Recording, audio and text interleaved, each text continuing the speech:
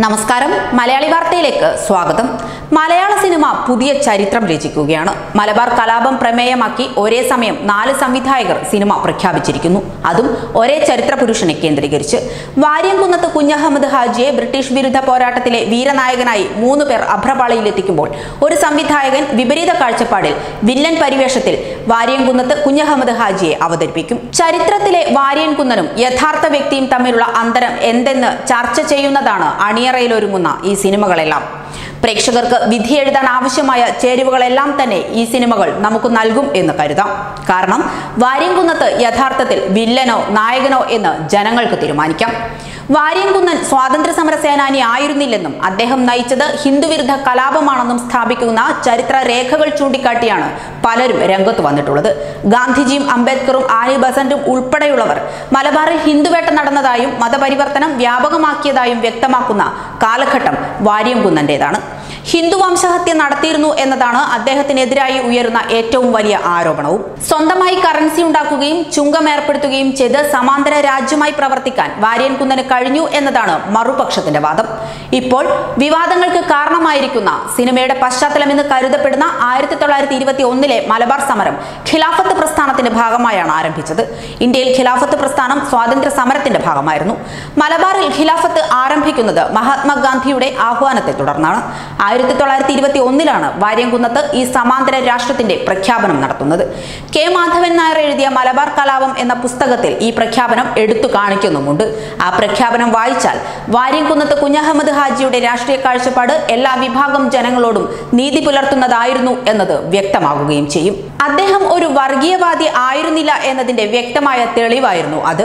മലബാറിലെ ജനങ്ങളുടെ ഐക്യം നശിപ്പിക്കാനും ഭിന്നിപ്പിക്കാനുമുള്ള തന്ത്രങ്ങൾ ബ്രിട്ടൻ നടപ്പിലാക്കിയപ്പോൾ ചിലരെങ്കിലും ഈ സമരത്തെ തെറ്റിദ്ധരിച്ചു. ഹിഷ്കോക്കിന്റെ നേതൃത്വത്തിൽ അക്കാലത്തെ സമരങ്ങളെ ഹിന്ദു മുസ്ലിം കലാപമാണ് എന്ന നിലയിൽ ചിത്രീകരിക്കാൻ ശ്രമിച്ചിരുന്നു. പല ഭാഷകളിൽ ലഘുലേഖകൾ അച്ചടിച്ച് വിതരണം നടത്തി. അത്തരത്തിൽ നടന്ന വലിയ പ്രചാരണങ്ങളെ തുടർന്ന് നിരവധി പേരാണ് സമരങ്ങളെ തെറ്റിദ്ധരിച്ചിട്ടുള്ളത്.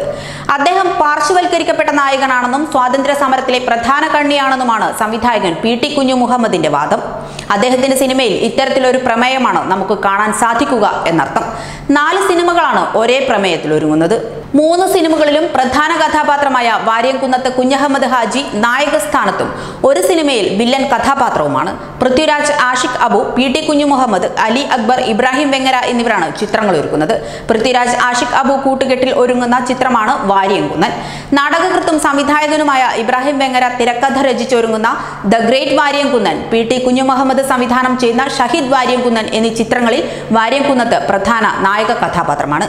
അതേസമയം അലി അക്ബർ സംവിധാനം ചെയ്യുന്ന ആയിരത്തി തൊള്ളായിരത്തി ഇരുപത്തി ഒന്ന് എന്ന ചിത്രത്തിൽ ഈ കഥാപാത്രം വില്ലൻ പരിവേഷത്തിലും എത്തുന്നു വാര്യംകുന്നത്ത് കുഞ്ഞഹമ്മദ് ഹാജിയുടെ ജീവിതം പ്രമേയമാക്കി ഒരുക്കുന്ന ആഷിഖ് അബുവിന്റെ വാര്യംകുന്നൻ എന്ന ചിത്രം അടുത്ത വർഷം തുടങ്ങും. മലബാർ കലാപവുമായി ബന്ധപ്പെടുത്തിയാണ് ചിത്രം. എഴുപത്തിയഞ്ച് എൺപത് കോടി രൂപയാണ് ബജറ്റ്. ഇതേ വിഷയത്തിൽ നാടകകൃത്തും സംവിധായകനുമായ ഇബ്രാഹിം വെങ്ങര തിരക്കഥയും രചിച്ചു. അദ്ദേഹം ഇതിന്റെ നാടകരൂപം തയ്യാറാക്കി സംവിധാനം ചെയ്തിട്ടുമുണ്ട്. ദ ഗ്രേറ്റ് വാര്യംകുന്നത്ത് എന്ന പേരിൽ സിനിമയുടെ പിന്നണി പ്രവർത്തനങ്ങൾ നടക്കുകയാണ്. അലി അക്ബർ ആയിരത്തി തൊള്ളായിരത്തി ഇരുപത്തി ഒന്നിന്റെ യഥാർത്ഥ മുഖം രണ്ടായിരത്തി ഇരുപത്തി ഒന്നിൽ ജനം കാണുമെന്ന് അദ്ദേഹം വ്യക്തമാക്കി.